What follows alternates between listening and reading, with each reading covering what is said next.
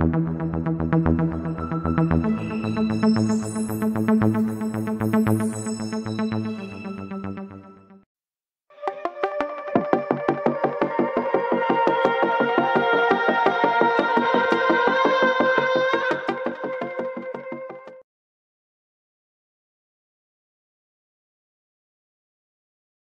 to Scoremore News Media, News Media Division from Scoremore Foundation, Voice of India to the World. Shah highlights PM efforts to boost drinking water supply in Gujarat. Home Minister Amit Shah on Tuesday shared a short video to highlight Prime Minister Narendra Modi's efforts to boost water supply in Gujarat, saying the state faced water crisis 21 years ago but every household had tap water supply. Thank you for watching.